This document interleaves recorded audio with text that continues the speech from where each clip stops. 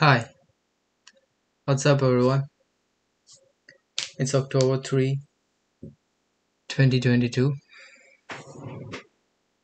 Here I am, my own apartment, just getting started. It's one of the thousand moves. Um, I'm restarting my synthesizing journey. I had to start it from the base again because last place wasn't that good. Now I'm going hundred x fast. Right now I'm doing a full-time job in Canadian Tire. It's a corporation, and meanwhile doing two separate gigs with two separate people.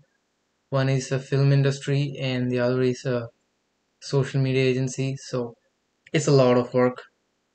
I'm not sure how am I going to make the synthesizing stuff in between this, but I know it is a thing for me.